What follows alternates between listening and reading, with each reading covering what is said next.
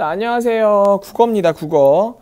우리가 지난 시간에 어떤 거 배웠냐면, 지난 시간에는, 음, QR코드. 교과서엔 QR 코드 이렇게 나와 있었잖아요. 그죠? 그리고 얘랑 또 무슨 미래 기술 어떻게 뭐 바뀌나, 뭐 어떻게 해야 되나, 뭐 이런 얘기 우리 같이 한번 했었던 것 같아요.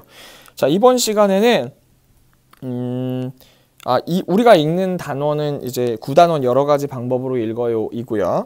필요한 글을 찾아 정리하기 라는 어, 파트에 대해서 한번 보도록 하겠습니다. 오늘 공부할 쪽은 어디냐면 284쪽부터 291쪽까지예요. 어, 글을 두 번 읽어요. 그래서 비교를 하면서 읽는데 일단 교과서를 한번 보면서 어떤 식으로 오늘 수업을 진행해야 될지 설명해드리면서 바로바로 바로 진행을 한번 해보도록 하겠습니다. 교과서 보겠습니다. 어, 아름다운 비색을 지닌 고려 청자가 나오는데요. 첫 번째 규빈이란 친구가 나와요. 규빈은 고려 청자를 조사해 발표하려고 여러 가지 글을 찾아보았습니다. 규빈은 뭐라고 나오냐면 여기에 조사에 발표하려고 라고 있어요. 어, 어 떤 방법으로 읽었을지 짐작하며 아름다운 비색을 지닌 고려청자를 읽어봅시다 나왔어요. 첫 번째 친구는 조사에서 발표하려고 여러 가지 글을 찾아봤어요. 근데 두 번째 친구 보면 규빈이가 이렇게 생겼나 봐요. 그죠? 두 번째 친구는 지환이가 나오는데 지환이는 외국에서 온 친구에게 고려청자를 알려주고 싶었어요. 외국에서 온 친구에게 알려주고 싶었습니다. 지환이가 어떤 방법으로 읽었을지 생각을 한번 해봅시다. 자, 그럼 어떤 차이가 있을지 한번 두 명이 어떻게 읽었을지를 한번 보는 거예요. 자, 첫 번째 친구는 어차피 처음에 읽는 거니까 자세하게 읽으면 선생님이 친구가 중요하다고 생각되는 거에만 밑줄을 한번 쳐드릴게요. 음, 아름다운 비색을 지닌 고려청자 어? 고려 청자는 청자의 빛깔 독특한 장식 기법과 아름다운 형태로 유명하다. 고려 청자를 만든 시기에는 중국과 우리나라에만 질 높은 청자를 만들 수 있었어요. 우리나라보다 중국이 먼저 청자를 만들고 세상에 알렸지만 고려는 청자를 만드는 우수한 기술력과 아름다움을 인정받아 다른 나라 사람들에게 사랑을 받았어요. 둘 다 만들었지만 우리나라가 조금 더 인정을 받았던 것 같죠. 고려 청자는 무엇보다 아름다운 빛깔로 더욱더 주목받았어요. 뭐 아름다운 빛깔. 청자의 빛깔은 맑고 푸른 녹색입니다. 이는 유약 안에 아주 자주 작은 기포가 많아 빛이 반사되면서 은은하고 투명하게 비쳐 보이기 때문이에요. 중요한 거 밑줄 하나 걷네요. 청자의 색이 짙고 푸른색 윤이 나는 것은 나는 구슬인 비치옥의 색깔과 닮았기 때문에 비색이라고 불렀어요. 중국 송나라의 태평노인 수중금이라는 책에서 고려청자의 빛깔을 비색이라고 부르며 천하제일이라고 칭찬했습니다. 그러면 고려청자의 색깔은 뭐다? 비색이라고 불렀어요. 빛이 옥색인데 자 넘어가겠습니다. 상감기법, 청자의 상감기법은 어느 나라에서도 찾아볼 수 없는 우리나라 고유의 독창적인 도자기, 도자기 장식 기법이에요. 그러면 상감기법에 대한 설명이 나오겠죠. 그릇을 빚고 굳었을 때 그릇 바깥쪽에 조각칼로 무늬를 새긴 뒤 검은색이나 흰색의 흙으로 메운 뒤 무늬가 드러나도록 바깥쪽을 매끄럽게 다듬는 기법이다. 자, 쉽게 설명해 드리겠습니다. 여기 색깔이 하얀색이죠. 왜 하얀색이냐면 여기를 따로 팠어요. 조각칼로 파서 하얀색 흙으로 덮은 거예요. 그래서 매끄럽게 다듬었어요. 신기하죠? 위에 그림을 그림을 그린 게 아니고 아예 조각칼로 파서 다른 흙으로 넣었다는 거죠. 얘가 상감 기법이에요. 이 기법은 금속 공예나 나전칠기, 장식 기법으로 쓰고 있었지만 고려 도공들이 도자기를 만들 때 장식에 처음으로 응용했습니다. 상감 기법으로 만든 고려 청자는 구름과 항 무늬를 새긴 청자 삼감 운항문 매병이 대표적이에요. 옌가 봐요. 그죠? 이러한 청자의 형태는 단순한 기존의 단순한 그릇 모양의 형태에서 여러 형태의 청자로 발전했고요. 당시 고려인들은 다른 것도 많이 썼어. 그 병 말고요. 대접과 접시, 잔, 항아리, 변, 창장, 상자 따위를 비롯해 베개와 기와까지도 청자로 만들었어요. 청자로 만든 베개, 베면 머리 깨지겠죠. 아야아야 할 것 같아요. 특히 죽순, 죽순은 이제 대나무가 쏙쏙 자라면서 나올 때 나오는 그 대나무 모양이에요. 그리고 표주박, 복숭아, 원앙, 원앙은 이제 약간 뭔가 부부처럼 잘 산다. 어, 라는 얘기가 약간 뭐야, 오리 닮았는데 부부의 사이가 좋다라는 의미를 가지고 있어요. 사자 용, 거북과 같은 동식물의 모양을 본떠 만든 향로. 향로는 향을 피우는 병이고요.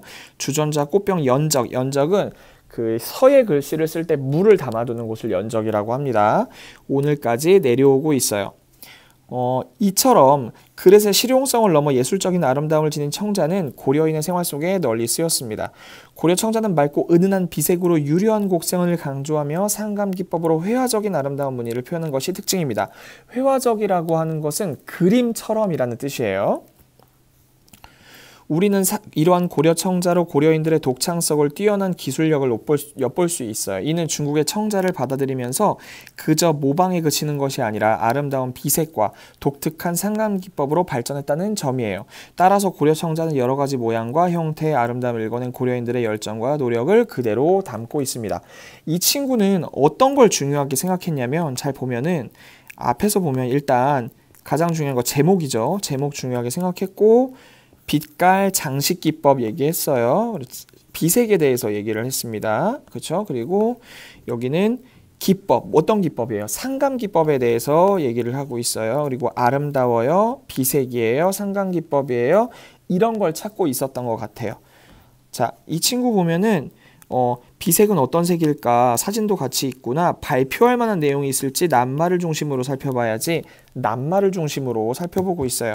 친구야, 코로나가 위험하니까 우리 마스크는 끼자. 슈.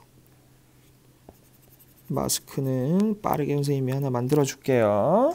예쁘게 잘 됐어요. 자, 규빈이가 아름다운 비색을 지닌 고려 청자를 읽을 때 어떤 방법으로 읽었는지 보겠습니다. 어, 밑줄 그음 부분만 읽었다면 어떤 어떤 곳을 읽은 거예요? 선생님이 아까 얘기했지만 어 얘가 어, 뭐할 때 쓴다 해서 발표한다 그랬죠. 발표. 고려청자에 대해서 발표한다 그랬어요. 고려청자를 조사해서 발표할 때 필요한 내용이기 때문입니다. 이 친구가 밑줄 그음 부분만 읽은 것은 발표할 때 필요한 내용이기 때문이에요. 그래서 우리가 밑줄 그은 내용이 어떤 부분인지 봤더니 어떤 부분이었어요. 뭐 이렇게 색깔이나 기법에 대해서 얘기를 했었, 했었죠. 이건 선생님이 아까 연습할 때 썼던 내용이니까 지우도록 하겠습니다. 저희 똑같은 내용이에요. 음. 자, 보기의 낱말을 사용해서 읽은 내용을 조 정리해 볼 거예요. 무엇을 가장 먼저 읽어야 돼요? 당연히 글을 읽으려면 제목을 가장 먼저 읽어야 되겠죠?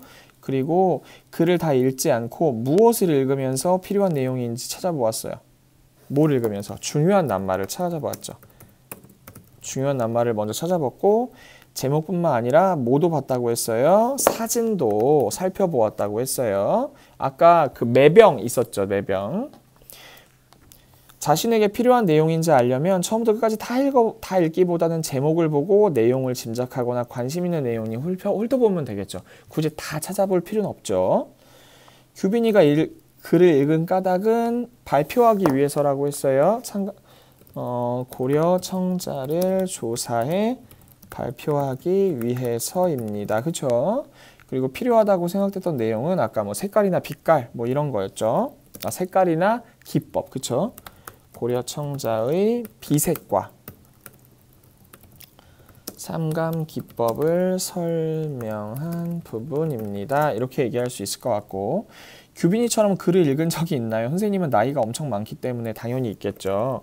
대학교 때 학교 과제를 위해 도서관에서 필요한 내용만 읽어본 경험이 있습니다. 여러분들은 대학생이 아직 아니니까 여러분들의 경험을 한번 써주시면 좋을 것 같아요. 자, 규빈이가 읽은 과정을 떠올리면서 아름다운 비색을 지닌 고려청자를 다시 읽어보겠습니다.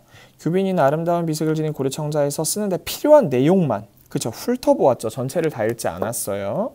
두 번째 친구 한번 볼 건데 얘는 외국에서 온 친구한테 알려준다고 그랬잖아요. 그러니까 중요한 내용을 다 봤겠죠. 선생님하고 어차피 한 번 읽어봤기 때문에 두 번째 내용은 빠르게 빠르게 보도록 하겠습니다. 자, 이 친구는 어, 형 이렇게 뭐 빛깔 형태 뭐 중국에서 진로 이게 중국에서 만든 것들 그리고 중국에서 만들었지만 우리나라가 더 인정받았다란 내용. 아름다운 빛깔로 주목받았고요. 푸른 녹색이고요. 푸른 녹색은 이렇게 만들어져요 라는 내용을 중요하게 생각했고 상관기법에 대한 내용을 굉장히 자세하게 밑줄을 쳤어요. 상관기법이 이런 것이다 라는 내용에 대해서 밑줄을 쳤죠. 이 친구가 뭐라고 하는지 볼게요. 외국에서 온 친구는 고려청자를 잘 모를 거야. 자세하게 알려주고 싶어. 자, 여기 중요하죠. 뛰어난 점이 무엇인지 자세히 살펴보고 내가 아는 내용과 어떻게 하면서 비교하면서 읽어본다고 얘기했어요. 친구도 위험하니까 마스크를 좀 써볼게요. 비교하면서 읽어보도록 하겠습니다. 슝. 수염 같네. 그쵸. 그리고 어, 여러 형태의 청자로 발전을 하였는데 어떻게 쓰였는지 뭐 아까 베개와 기와까지도 쓰였다 그리고 죽순 이런 것들도 동물도 만들었고요 연적도 썼고 그래서 실용성을 넘어 예술의 아, 예술성의 아름다움까지도 다 사용했다고 했고 고려 청자는 고려인들의 독창성과 뛰어난 기술력, 청자를 받아들였지만 모방에 그치는 것이 아니라 아름다운 형태로 발전하여서 세계적으로 인정을 받고 있다. 이런 내용을 이 지완이는 중요하다고 생각을 했었던 것 같아요. 자, 지완이가 어떤 방법으로 아름다운 비색을 지닌 고려 청자를 인 건지 생각하면서 보기에서 빈칸에 써보도록 할게요. 중요한 뭐를 찾아봤을까? 당연히 중요한 뭘 찾아봤을까요? 중요한 내용을 찾아봤겠죠. 그래서 중요한 내용을 찾으면서 읽었고 그리고 뒷받침 하는 내용에 어떻게 했을까? 밑줄을 그었죠. 그리고 아는 내용과 새롭게 한 내용을 어떻게 했어요? 비교하면서 자세히 읽었죠. 어, 글의 종류와 읽은 목적을 생각하며 아름다운 비색을 지닌 고려 청자가 어떻게 읽고 싶은가 보면은 특징을 조사한다라고 얘기했어요. 특징을 조사하고 외국인한테 설명해 준다고 했으니까 자세하고 꼼꼼히 봐야 되겠죠. 그래서 우리는 여기다가 뭐라고 쓸 거냐면 나는 내용을 자세히 살펴보고 꼼꼼히 읽어야 해라고 얘기할 거고 글의 내용에서 뭐를 생각하면서 읽은가 왜냐면 외국인한테 설명해 주는데 막 이해하기 어렵거나 궁금한 점이 있으면 안 되겠죠. 그래서 일단 뭐라 쓸 거냐면 이해하기 어려운 점이나 궁금한 점이 없는지 생각하면서 읽읍니다. 그리고 의심스러운 내용은 꼼꼼히 따져보아야 된다. 아까 이 친구가 뭐라고 했냐면 아는 내용과 비교를 해본다고 했어요. 나는 이 글에서 어떤 부분을 집중해서 볼 거냐면 어, 고려청자의 좋은 점에 대해서 설명해 준다고 했으니까 고려청자의 특징을 부분에 집중해서 한번 읽어보면 좋겠죠. 그래서 고려 청자의 특징을 설명하는 부분에 집중해서 읽, 읽었으면 좋겠다라고 해서 어, 그 이렇게 읽으면 될 것 같아요. 지환이는 음, 자 읽은 내용을 바탕으로 해서 아름다운 비색을 지닌 고려 청자의 내용을 요약해 봅시다. 빛깔은 뭐라 그랬냐면 약간 비색이라 그랬는데 어, 맑고 은은한 푸른 녹색이었고요. 빛이 옥색이라고 얘기했죠. 빛이 옥색을 닮아서 뭐라고 불렀냐면 비색이라고 함 이렇게 쓰면 될 것 같아요. 상관기법 되게 좀 길죠. 중요한 건 밖에 이제 파냈다, 파내서 거기다가 하얀 흙을 채웠다 이걸 쓰면 되는데 그래도 정리를 해야 되니까 선생님이 정리를 해드릴 테니까 보고 쓰시면 될 것 같아요. 그릇 바깥쪽에 조각칼로 무늬를 새긴 다음 검은색이나 흰색의